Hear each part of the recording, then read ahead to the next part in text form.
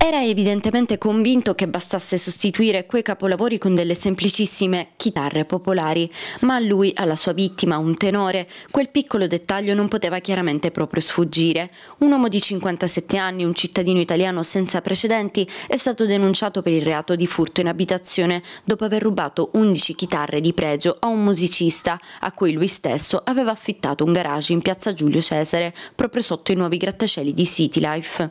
A identificare il ladro sono stati i poliziotti del commissariato Sempione che lo scorso 8 agosto avevano raccolto la denuncia del tenore. Il cantante aveva raccontato che poche ore prima era passato nel box e si era accorto che le sue chitarre erano state sostituite con altre tarocche di scarso valore. La vittima ha così messo a verbale che erano sparite delle chitarre per un valore di 150.000 euro.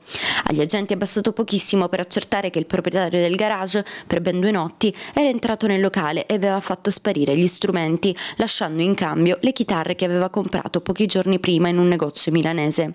Identificato e denunciato il ladro, anche lui collezionista, i poliziotti si sono poi messi sulle tracce delle chitarre rubate, passando al setaccio la casa del 57enne e un'altra ventina di obiettivi. Gli agenti sono riusciti nell'impresa di recuperare 10 chitarre, una era già stata venduta online, che sono state subito restituite al tenore.